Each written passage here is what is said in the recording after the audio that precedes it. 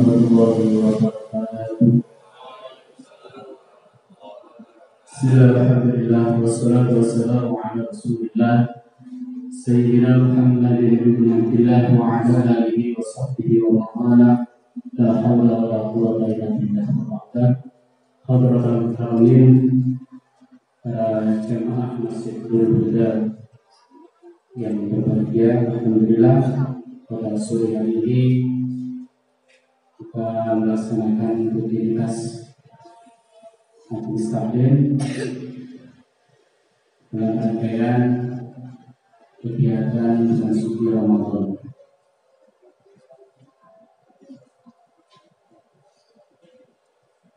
Para jemaah yang berbahagia, puasa adalah ibadah yang paling umum. Jadi semenjak Nabi Adam puasa ini sudah ada.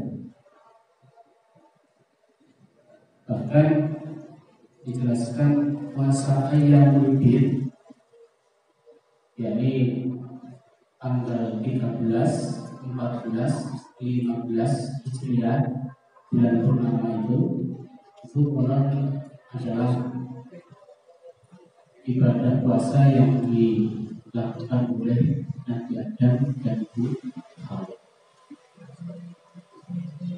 Kemudian Nabi Nuh itu juga begitu. Ketika di atas perahu Menggunakan hampir seluruh dunia dipulangkan oleh Allah dan Nabi Nuh beserta pengikutnya di atas perahu dia Nabi Nuh memerintahkan kepada pengikutnya untuk kemudian Nabi Yakub juga berpuasa. Nabi Yusuf itu juga berpuasa. Para wali-wali yang berada di Indonesia yang masyhur dengan Wali Songo itu semua juga melakukan puasa. Sunan Kalijaga itu berpuasa di pinggir Sungai Bengawan yang diberitakan oleh gurunya Sunan Bonang berpuasa selama 41 hari. Kemudian Sunan Geseng. Sunan Geseng ini berada di pagi. Itu juga berpuasa di bawah pohon besar yang berlubang. Puasa di situ atas perintahnya gurunya Sunan Kalijaga. Itu juga berpuasa lama sekali sehingga tidak sadar bahwa hutan itu terbakar. setelah terbakar beberapa beberapa hari kemudian Sunan Kalijaga datang dan mengakhiri beliau Sunan Geseng masih hidup dia berpuasa tidak hanya manusia yang biasa melakukan ibadah puasa hewan pun juga melakukan ibadah yang paling kita kenal yang kita tahu di sekolah-sekolah itu yaitu ular. Ular ketika dia berubah akan menjadi kupu-kupu. Dia berpuasa dulu. Menjadi kepompong. Puasa. Ular yang sebelumnya menjijikkan akan kita beli untuk memegang. Itu dia bisa berubah menjadi hewan yang sangat indah sekali. Bisa terbang sana kemari. Dia harus melalui lewat berpuasa menjadi kokoh ikan salmon. Ikan salmon itu kalau mau bermigrasi sampai 10 mil lebih migrasi itu dalam rangka untuk berkembang biak itu dia berpuasa dulu. Agar apa? Dia berenangnya cepat. Berenangnya cepat. Sehingga sampai pada tujuannya itu pada waktu yang hampir bersamaan karena berjuta-juta yang salmon ini berimitasi dari satu wilayah ke wilayah lain. Coba bayangkan ikan berpindah tempat sampai 10 mil. Itu dia berpuasa. Tidak hanya hewan, tumbuhan pun juga melakukan puasa. Ada beberapa tumbuhan yang justru untuk mempertahankan kehidupannya di waktu uh, tidak hujan kemarau itu dia justru berpuasa. Pohon jati. Musim kemarau dia justru berpuasa. Berpuasanya apa? Dia menggugurkan biji dan daunnya. Coba jaringan bersama.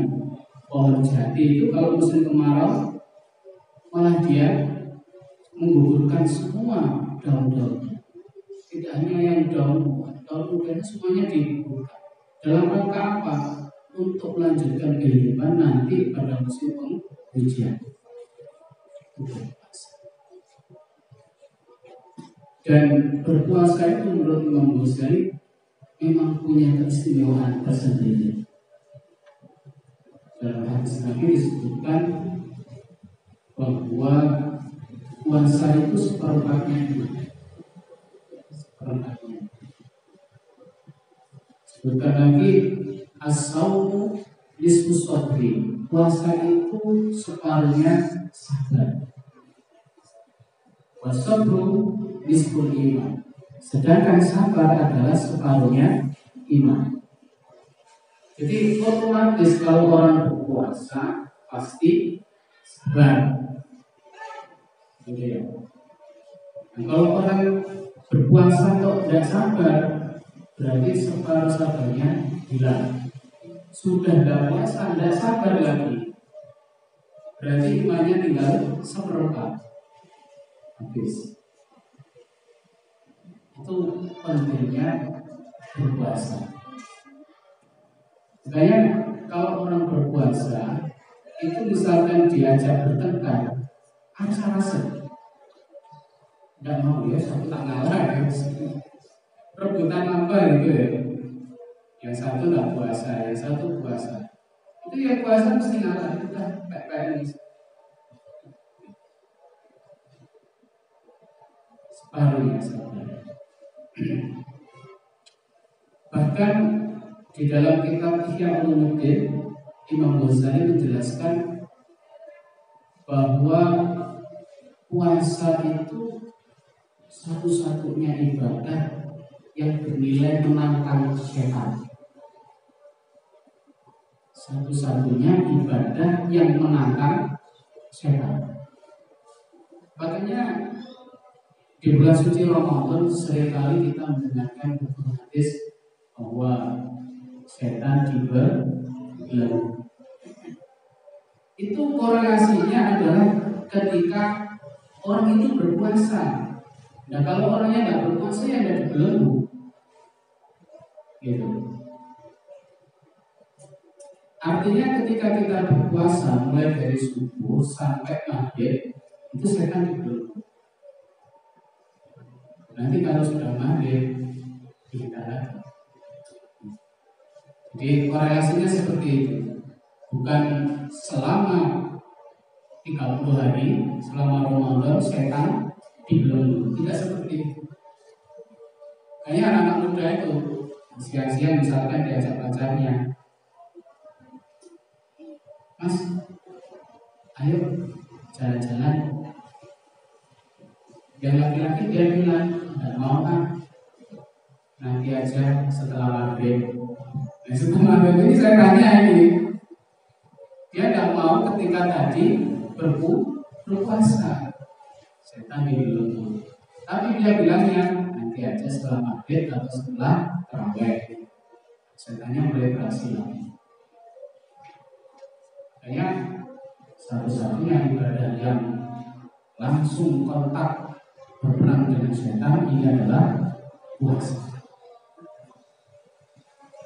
Dan ini tidak hanya berlaku ketika bulan suci Ramadan. Artinya ketika jenengan itu mengangkat senjata, menyatakan perang dengan setan, maka ya berpuasalah meskipun di luar Ramadan. Makanya hampir tidak ada ulama yang tidak puasa. Hampir semua ulama puasa. Entah itu puasa puasa apa yang terus gitu kecuali Idul Fitri, Idul dari Asia. Ada lagi ulama yang puasa itu selain Ada lagi ulama yang puasa bid. Ada lagi puasa Senin Kamis, Senin Kamis plus pas hari kelahirannya. Apa namanya? Posotan. Orang Jawa biasa posotan itu. Kenapa? Karena weton itu adalah rahasia kita. Jadi kalau kita punya ilmu kejayaan, itu kelemahan kita adalah pada hari weton. Maka jangan ditunjukkan pada orang orang ini. Kelemahan kita. Saya di saya Pak Nawawi wetonnya sosok lagi disangka sosok lagi masih sakit dijebol karena pas nonton. Tapi bisa nggak jebol? Kalau dia berpuasa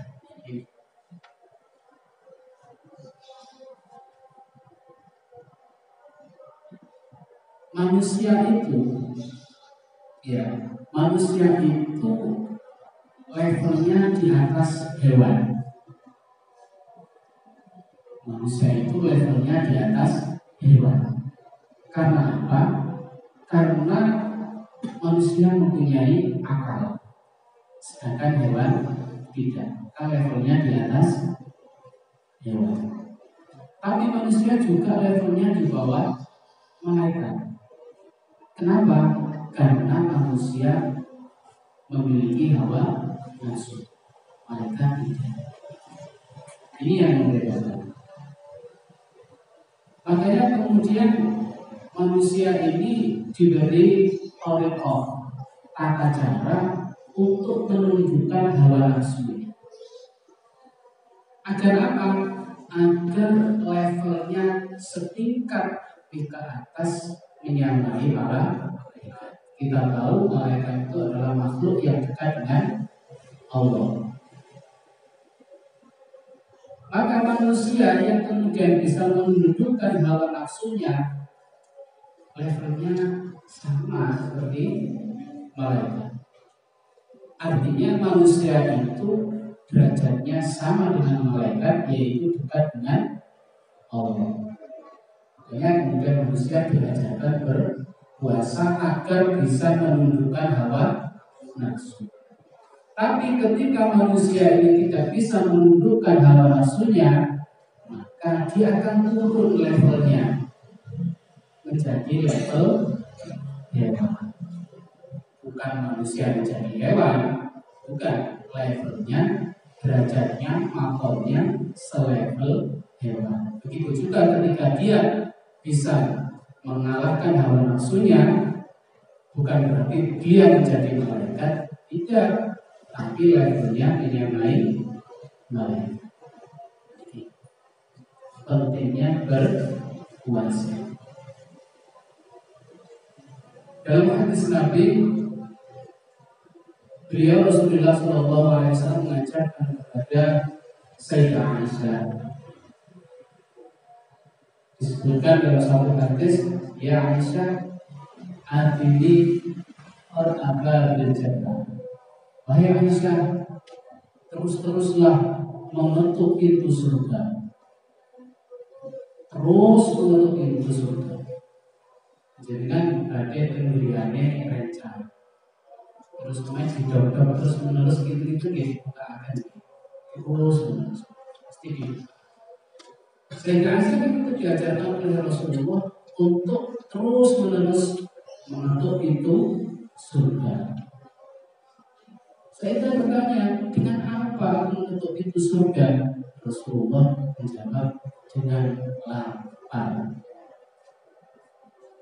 Jadi lapar ini adalah dalam rangkaian untuk terus menerus mengetuk pintu surga. Dan insya Allah kita yang berpuasa ini semua, insya Allah ahlu jannah. Karena apa? Karena kita selalu mengetuk pintu surga dan berharap untuk masuk. Dan keterangan lain disebutkan bahwa setan ini mengalir dalam tubuh manusia itu seperti darah, mengalirnya seperti darah. Dengan bisa uh, membayangkan setan itu dekatnya dengan kita seperti itu, seperti aliran darah, seperti itu. Dan kita bisa menghentikan hal itu dengan apa? Dengan biljuri, dengan lapar. Enak sekarang kita ini berpuasa berapa jam? Mulai dari subuh sampai maghrib. Konon dulu puasa itu sampai 22 jam.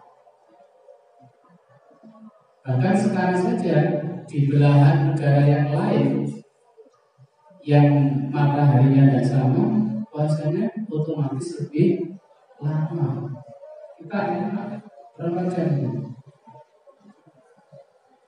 Sekitar 10 9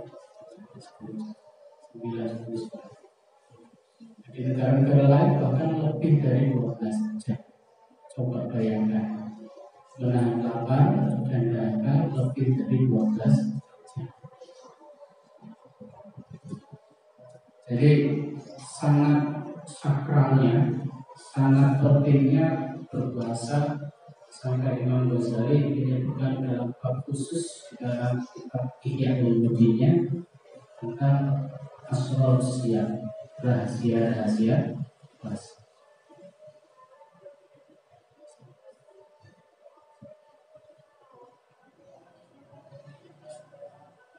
As-sawmu al-imtina'u biniyatin anil mufattirati jami'an nahari min syahr Ramadan. Puasa itu adalah intina, mencegah. Makanya kemudian di Jawa pada khususnya ketika menjelang Ramadan itu ada tradisi namanya megengan.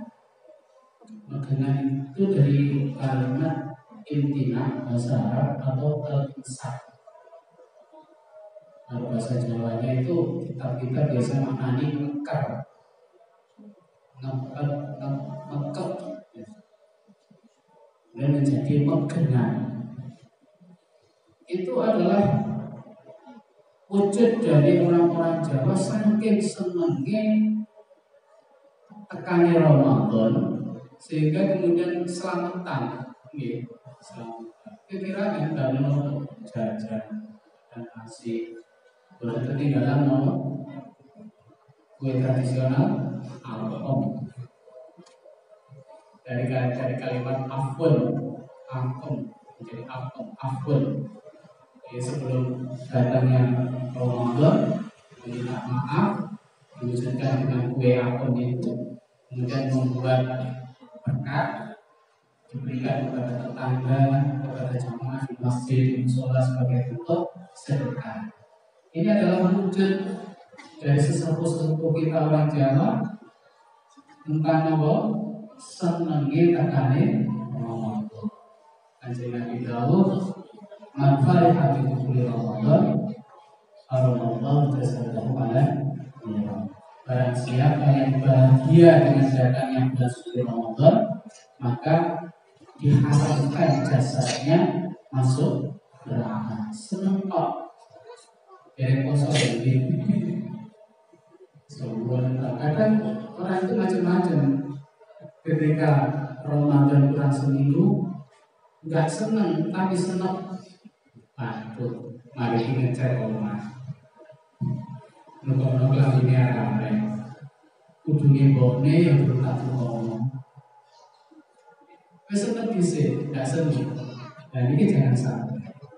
Jadi ketika Ramadan, mari kita tunjukkan rasa bahagia kita dengan kehadiran Ramadan. Karena apa? Karena dengan Ramadan ini Allah memberikan kesempatan kepada kita untuk membersihkan diri. Bisa saya sampaikan bahwa orang berpuasa itu ya bisa mencegah hawa nafsunya yang kalau bisa uh, mengendalikan hawa nafsunya maka dia akan selevel dengan malaikat. Artinya manusia ini akan dekat dengan Allah. Nah, orang yang dekat dengan Allah ini maka segala sesuatunya itu dimudahkan oleh Allah. Bahkan tidak ada doa satupun yang tidak diijabahi Allah. Kita mengenal dulu para wali ketika berdakwah ya para wali ini adalah selalu menanyakan kepada masyarakat apa yang dibutuhkan apa yang dibutuhkan? Bukan menceritakan tentang surga dan neraka.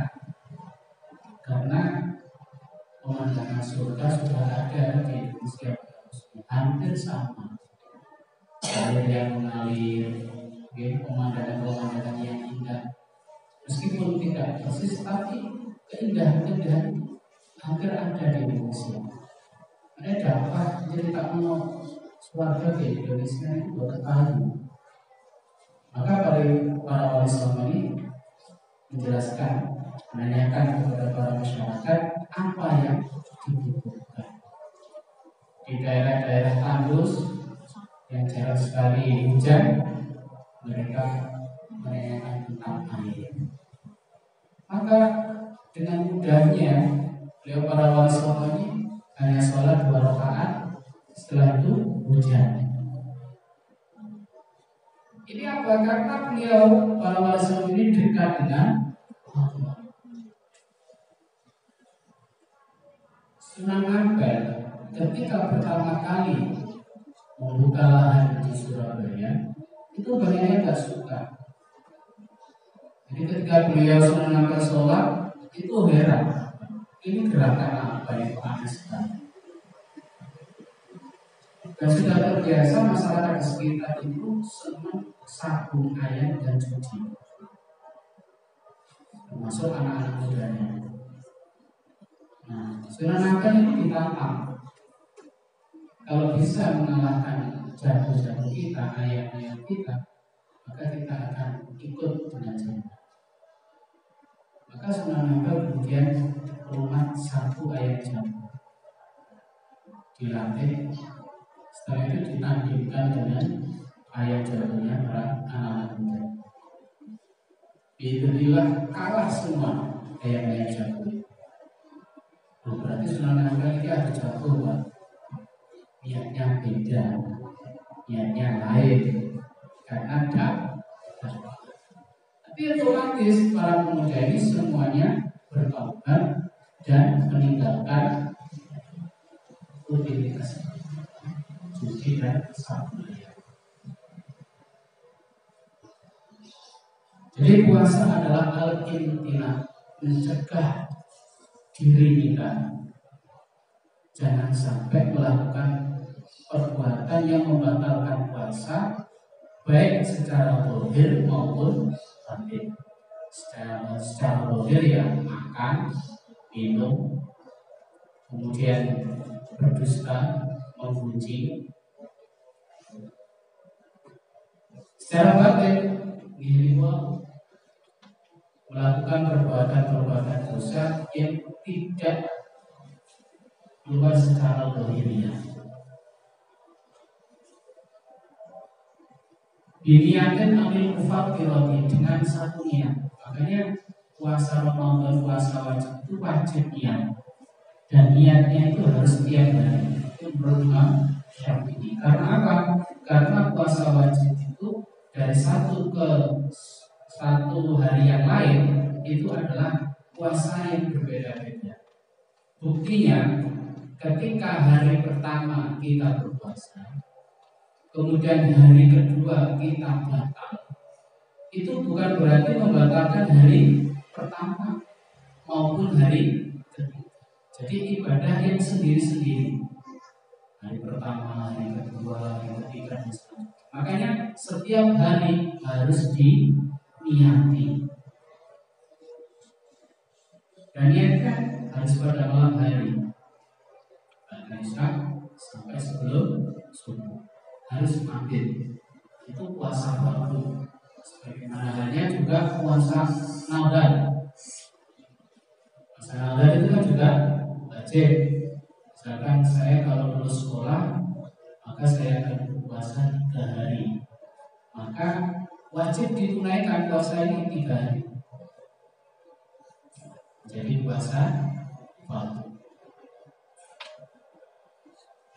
Tapi menurut Imam Maliki boleh niatnya berpuasa itu dijamak. Dijamak ini di tiga 30 hari selama Ramadan ini pada permulaan sama mungkin Apa itu? Abaan Bil imam malikin Fardol dilahkan Aklikan Bil imam malikin Fardol dilahkan saya niat berpuasa taklid ikut pada Imam Malik fardu karena Allah boleh. Tapi bukan berarti kemudian setiap hari kita tidak berpuasa tidak seperti itu kita tetap pada awal puasa kemarin kita jamak puasanya tapi setiap hari kita juga niat tapi seandainya kita lupa kita tidak batal puasanya karena apa? Di awal puasa kita sudah niat sebagaimana niatnya Imam Malik. Jaminan hari seluruh ya seluruh uh, pada siang hari jadi puasanya menahan laparnya pada siang hari.